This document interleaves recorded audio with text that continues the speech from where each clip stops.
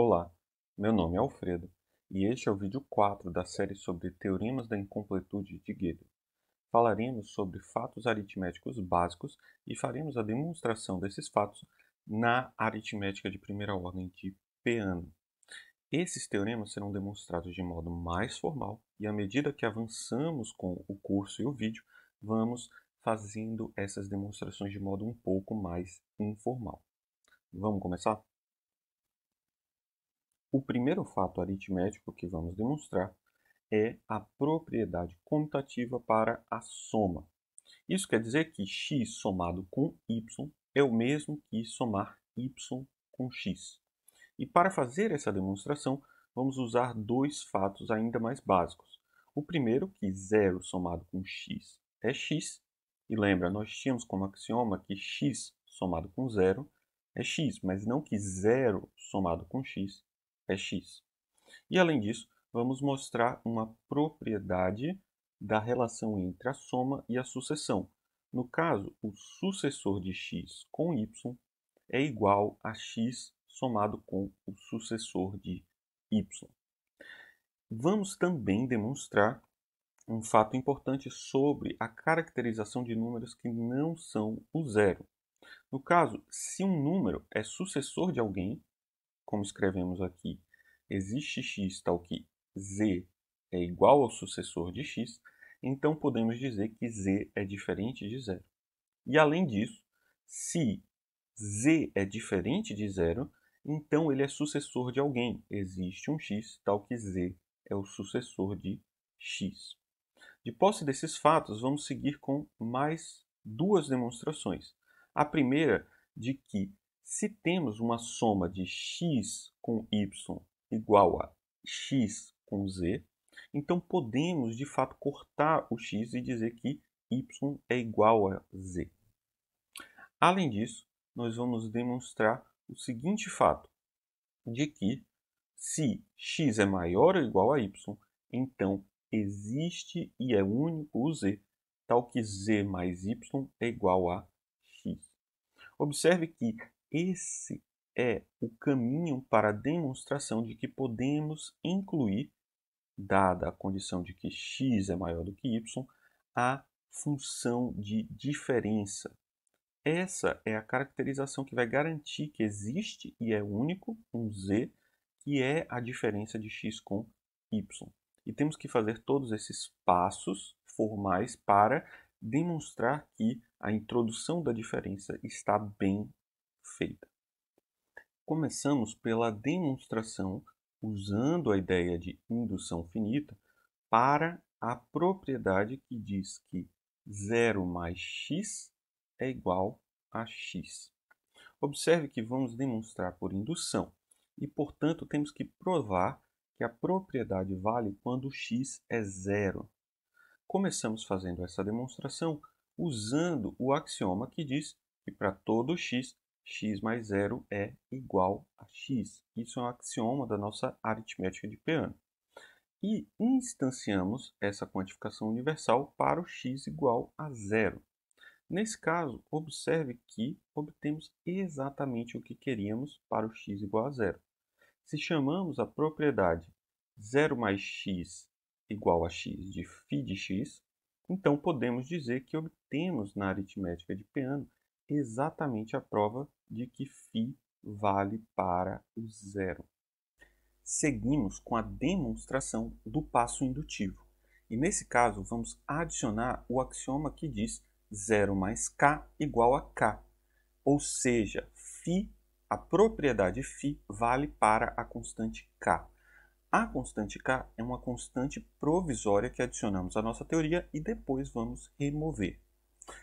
Essa teoria, PA mais φ de k, vai demonstrar, vai ser capaz de demonstrar que a propriedade vale para o sucessor de k. E como vamos demonstrar isso? Começamos com o axioma que descreve a soma para todo x, para todo y, x mais s de y é igual a s de x mais y. Instanciamos esse axioma com o x no valor de zero e o y com o valor k. E observamos que do lado direito da equação nós temos 0 mais k. E, portanto, podemos substituir por k, dado que isso está como axioma na nossa teoria. Fazendo essa substituição, vamos obter exatamente a nossa expressão desejada. Vamos obter 0 mais S de K é igual a S de K. Observe que conseguimos demonstrar exatamente o que escrevemos em amarelo em cima. A teoria PA mais φ de K demonstra φ de K mais 1. Agora vamos observar como obter a fórmula no seu formato correto. Para fazer isso, vamos aplicar um teorema da lógica de primeira ordem que diz que ao assumir algo como axioma e demonstrar uma outra forma, podemos dizer que a teoria sem o axioma demonstra a implicação, ou seja, a aritmética de Peano demonstra que φ de k tem como consequência implica φ de s de k. Isso é dado pelo teorema da dedução. Agora que temos essa forma, podemos, já que k é uma constante que não acontece na aritmética de Peano, podemos generalizar as constantes e obter a expressão que diz para todo x, se φ de x, então φ de s de x. De posse desses dois resultados, podemos juntar o que provamos do lado esquerdo e do lado direito e temos, portanto, a implicação PA tem como consequência φ de zero e para todo x, φ de x implica φ de s de x. Agora, o que vamos fazer é usar o axioma da indução instanciado para a fórmula φ, que diz exatamente o que temos acima e isso implica para todo x φ de x. Usando modus ponens, nós sabemos que PA, a aritmética de Peano, demonstra para todo x φ de x, ou seja, para todo x, 0 mais x é igual a x. E isso finaliza a demonstração do primeiro resultado. Observe que demonstramos a propriedade para zero e depois que se a propriedade vale para uma constante nova k, então vale para o sucessor dessa constante.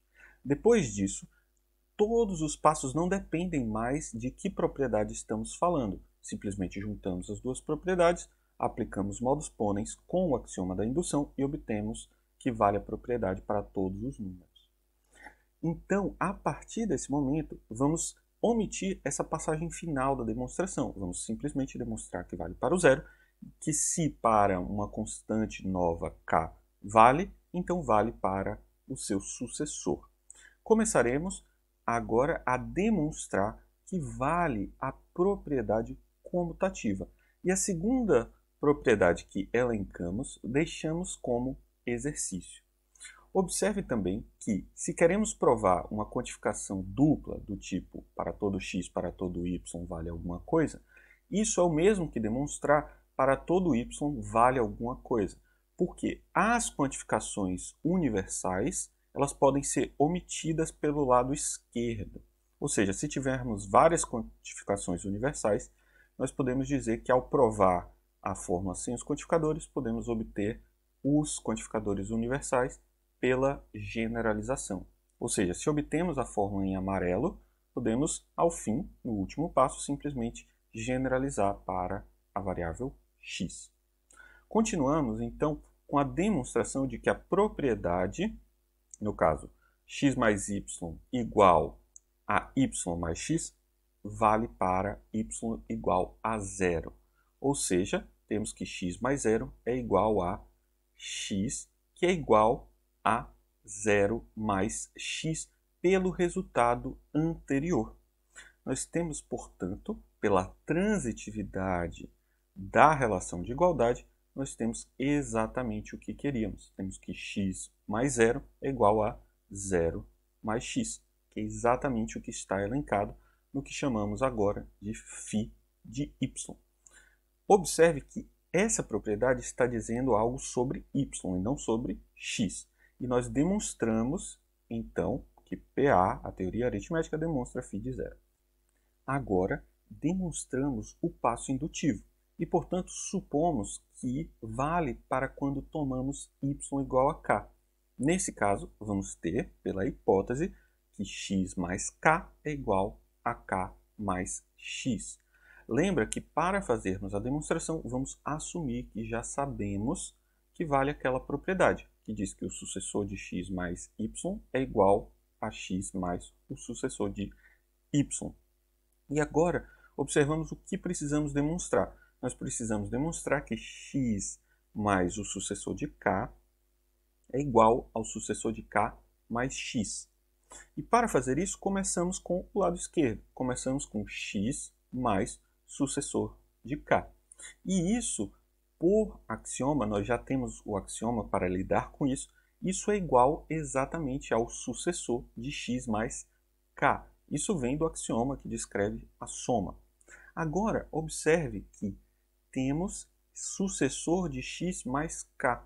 E x mais k, pela hipótese, nós temos como axioma, lembra, nós introduzimos o x mais k igual a k mais x como um axioma.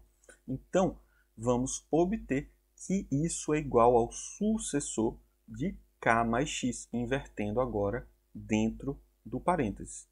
E usando o axioma novamente, vamos obter que isso é igual a k mais sucessor de x. Por fim, usamos aquilo que tá, está para ser demonstrado como exercício para obter exatamente o que precisamos, que é sucessor de k mais x. Observe que nós partimos de x mais sucessor de k e chegamos a sucessor de k mais x. E, portanto, nós provamos que se vale para uma constante, vale para o sucessor da constante. Provamos o passo indutivo. E, portanto, podemos concluir aquilo que partimos como indução. Nós provamos que vale para todo y, que x mais y é igual a y mais x. E, fazendo a generalização na variável x, obtemos exatamente a fórmula que desejávamos. Seguimos agora com a próxima prova. Essa prova não será feita por indução, e sim por contradição. Observemos como que vamos fazer isso.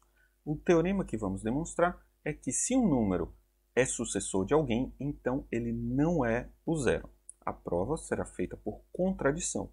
E antes de demonstrarmos a contradição, vamos ver o que poderemos obter a partir de uma contradição. Isso é uma revisão de lógica de primeira ordem. Nós vamos adicionar como axioma tanto o antecedente como a negação do consequente, certo? Estamos supondo que vale a hipótese, mas não vale a consequência. A partir disso, vamos chegar a uma contradição. Por exemplo, há e não há. Vamos usar o teorema da dedução e a partir disso nós sabemos que somente a partir do, da adição do primeiro axioma, ou seja, existe x, z igual a s de x, isso pode demonstrar que z igual a zero implica a contradição. Isso vem do teorema da dedução. Agora, nós obtemos, por consequência tautológica, que a frase da fórmula acima ela é equivalente tautologicamente à negação do antecedente. Se o antecedente implica uma contradição, vale a negação do antecedente. Isso pode ser verificado por tabelas de verdade. Agora, usamos novamente o teorema da dedução e vamos obter exatamente o que precisamos, certo? Então, nosso desafio é demonstrar simplesmente essa primeira etapa, ou seja, PA, aritmética de Peano, adicionados aos axiomas existe x tal que z igual a s de x e z igual a zero, isso vai nos levar a uma contradição. Demonstramos essa contradição partindo dos dois axiomas adicionados. Nós instanciamos esses dois axiomas, o existe x tal que z igual a s de x e o z igual a zero. Como nós temos que z é igual a zero, nós podemos substituir o z por zero. E, portanto, obtivemos a conclusão de que existe um x tal que zero é o sucessor de x. Agora, o que vamos fazer é instanciar o axioma é, que diz que para todo x, zero é diferente do sucessor de x. Isso é um axioma da nossa teoria, da nossa aritmética. E agora vamos juntar essas duas consequências e vamos concluir que existe um x tal que zero é sucessor de x e zero não é sucessor de x. Observe que isso vem do fato de que se existe alguém que tem a propriedade φ e para todo x vale a propriedade psi, então existe alguém que tem as duas propriedades, dado que uma das propriedades vale para todo mundo. Então, observe o seguinte, nós temos agora algo que já aparenta uma contradição. Existe um x tanto é, o sucessor dele é igual a zero, quanto ele é diferente de zero. Isso já é uma contradição. Mas nós precisamos trabalhar um pouquinho mais para obter a, a contradição no seu formato proposicional. A e não há. E para fazer isso, o que vamos fazer é introduzir a mudança de quantificação para o quantificador universal. Observe que existe é a mesma coisa que não para todo não. E, portanto, essa primeira frase é equivalente à negação de para todo x vale a primeira fórmula ou vale a segunda. Essa segunda troca está relacionada à aplicação de De Morgan, que diz que A e B é equivalente a não, não A ou não B. E, portanto, nós temos que essas duas formas são equivalentes. Agora, o que fazemos é o seguinte, começamos com um, uma instância do axioma do terceiro excluído. O axioma do terceiro excluído diz que qualquer forma vale ou a forma ou a negação dessa forma. E agora, seguimos com a introdução do universal. A introdução do universal, a generalização, vai funcionar sempre para qualquer constante. E observe agora que nós temos duas formas contraditórias. Agora nós temos exatamente o A e não A. Exatamente aquilo que queríamos. Temos a negação de uma fórmula A, a fórmula A no caso é o para todo x 0 diferente do sucessor de x ou 0 igual ao sucessor de x, e nós temos a fórmula A também. Obtivemos, portanto, uma contradição. Como nós já fizemos, a partir dessa contradição, nós seguimos etapas lógicas já conhecidas para obter o teorema desejado. Exatamente que a aritmética de Peano prova que se existe x tal que z igual ao sucessor de x, então z é diferente de zero. Ou falando de modo mais natural, se o z é sucessor de alguém, então z não é zero. Observe que nós fizemos a prova aqui usando detalhes lógicos bastante intrincados. Vamos, à medida que avançamos no curso, vamos diminuir esses formalismos lógicos e vamos usar artifícios mais intuitivos mas é importante fazer ao menos uma vez essas demonstrações um pouco mais em detalhes. Seguimos agora com a demonstração da direção oposta. Se um número é diferente de zero, então ele é sucessor de alguém. E a demonstração desse fato vai ser feita por indução novamente. Então temos que mostrar que vale para o zero e que se vale para um k, vale para o k mais 1, o sucessor. Começamos mostrando que vale quando z é igual a zero. Nesse caso, vamos ter a fórmula zero diferente de zero, implica existe x tal que zero é igual a s de x. Observe que o antecedente nessa implicação é falso e, portanto, não interessa o que acontece no consequente. Na lógica que estamos usando, na lógica clássica, se o antecedente é falso, a fórmula é verdadeira. E, portanto, a propriedade, a propriedade φ, que é a que estamos analisando, vale para o zero. Agora, assumimos que a propriedade vale para quando tomamos z igual a k. E nesse caso, vamos ter como hipótese que se k é diferente de zero, então existe x, tal que k é o sucessor de x. Observe que, para o caso sucessor, a prova é um tanto trivial, já que queremos demonstrar que a propriedade vale para S de K, né, o sucessor de K, queremos mostrar que ele é sucessor de alguém. E, de fato, ele é. Ele é o sucessor do K. Então, para demonstrar isso, vamos simplesmente seguir alguns axiomas muito básicos. Primeiro, observamos que para todo x, o zero é diferente do sucessor de x, isso vem de um axioma, o axioma da aritmética, e agora instanciamos esse axioma para o k, e obtemos que zero é diferente do sucessor de k. Seguimos com uma verdade trivial. Digamos que S de k é igual a S de k. O sucessor de k é o sucessor de k. Isso é isso vem de uma instanciação do axioma da identidade. E agora nós quantificamos existencialmente. Existe, claro, um x tal que o sucessor de x é o sucessor de k. E isso dá exatamente aquilo que nós queríamos. E, portanto, nós provamos que a propriedade valendo para um elemento vai valer para o próximo.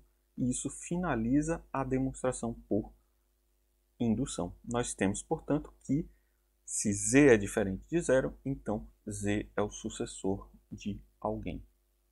Provamos agora mais um fato por indução. Vamos demonstrar que se x mais y é igual a x mais z, então y é igual a z. E vamos provar isso por indução. Começamos mostrando que para x igual a zero, a propriedade vai valer. E nesse caso, partimos da hipótese do lado esquerdo. Nós temos que 0 mais y é igual a 0 mais z. Como já demonstramos, ao somar zero do lado esquerdo, nós podemos dizer que vai valer que 0 mais x é igual a x. E, portanto, 0 mais y é y e 0 mais z é z. Lembra que isso nós demonstramos, nós não obtemos isso direto dos axiomas. Então, obtivemos a propriedade para o caso de x igual a zero. Assumimos agora que a propriedade vai valer para quando x assume o valor de uma constante k. E nesse caso vamos ter que, para qualquer que seja o y e o z, se k mais y é igual a k mais z, então x é igual y igual a z. Agora, o que vamos fazer é supor que o sucessor de k mais y é igual ao sucessor de k mais z.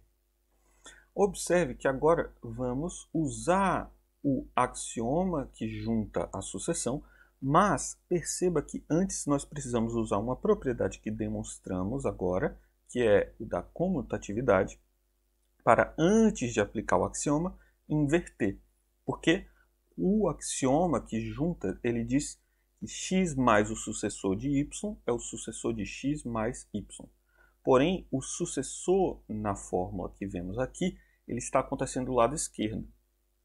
Então, antes de aplicar o axioma, precisamos usar a comutativa.